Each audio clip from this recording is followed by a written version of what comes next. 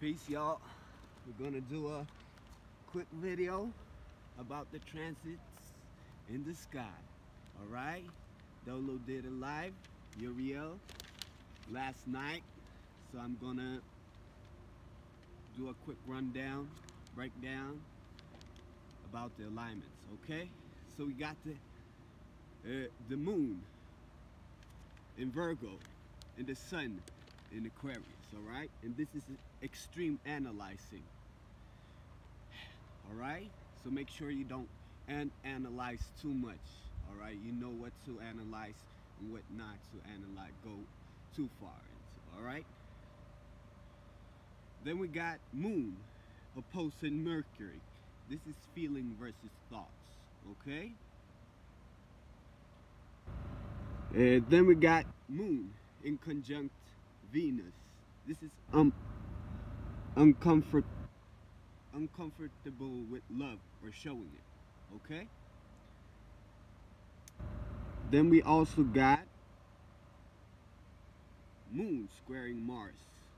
This is learning how to respond to anger or passion. Okay. This is like learning how to overcome your problems also okay? Then we got moon trining jupiter. This is expansive emotions. So make sure you not you do not expend your emotions to uh, way too far out place. That will show you later on that you you made a goddamn mistake okay? Then we got Moon trining Saturn. This is real reality sets in. Seeing reality of things, okay? Then we got Moon trining Uranus.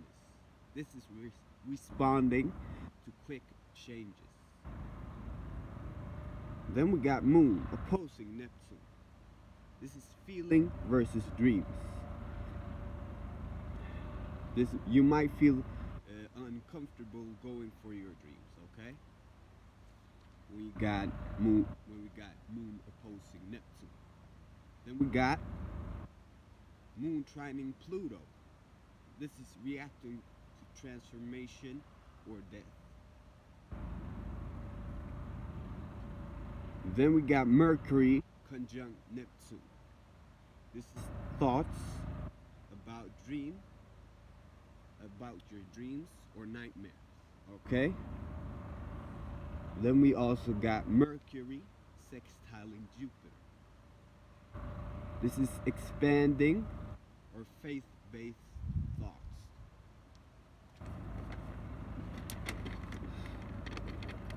And then we also got Venus conjunct Chiron.